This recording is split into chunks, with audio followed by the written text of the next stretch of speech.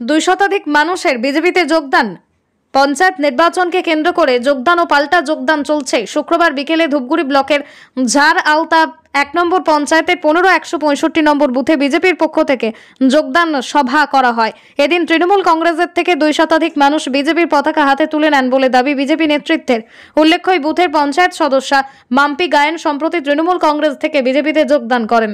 তার নেতৃত্বে সেই বুথের মানুষ বিজেপিতে যোগদান করেন। বিজেপি নেতাদের দাবি মাম্পি গায়েন কাজ করতে চাইলেও তাকে কাজ করতে দেয়নি তৃণমূল নেতারা।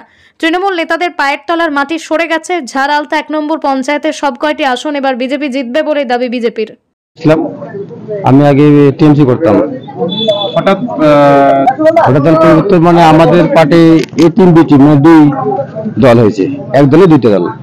মানে আমাদের যে এমএলএ গ্রাম পঞ্চায়েত মানে কোনো কাজ করতে গেলে বা নবীন মানে দুই এ হয়েছে তো, নবীন রায়।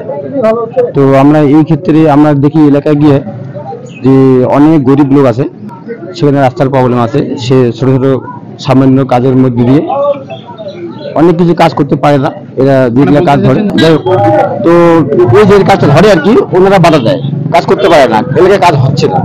তো আমরা এর বিরুদ্ধে আমরা বিজেপি থেকে আমরা এলাকায় আগে এলাকে এলাকে উনি গেলেন এবং টিএমসি থেকে।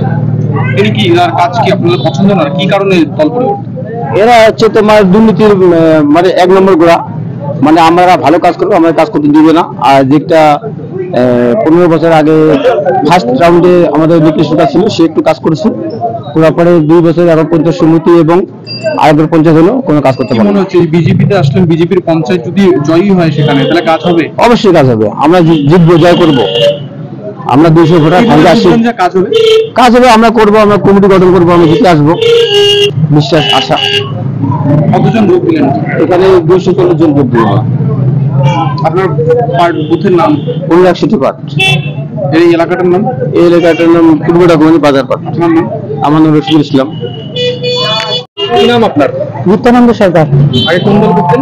টিএমসি। কেন তৃণমূল থেকে বিজেপিতে কেন আসলেন? পঞ্চায়েত নির্বাচনের ঠিক আগে।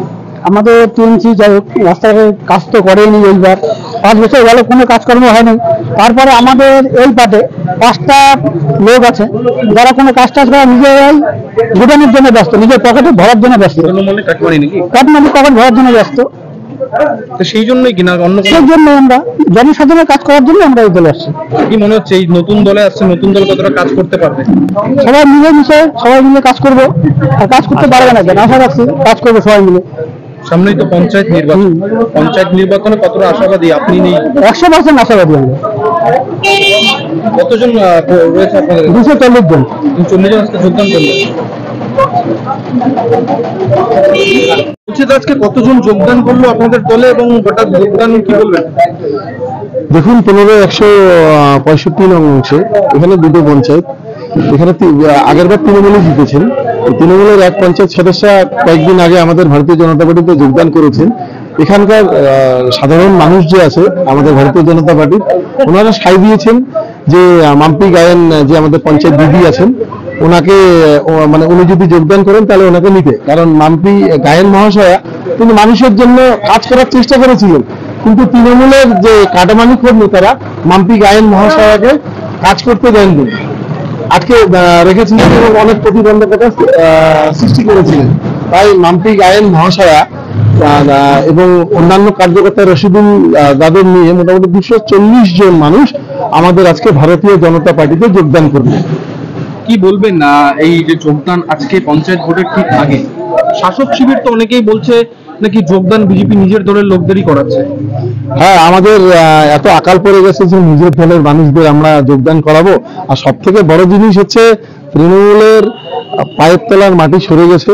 আর তৃণমূল যে ওই ভাদ্র মাসে যে পশুগুলো মানে পাগল হয়ে যায় তাদের মতন আচরণ করছেন ভুলভাল ঠিক আশাবাদী পঞ্চায়েত নির্বাচনে এই এলাকায়? পঞ্চায়েত নির্বাচনে আমরা ঝাড়ালটা ওয়ানে প্রত্যেকটা আসনই আহ, দখল করব। এখানে জামানত বাজেয়াপ্ত হয়ে যাবে টিএমসি।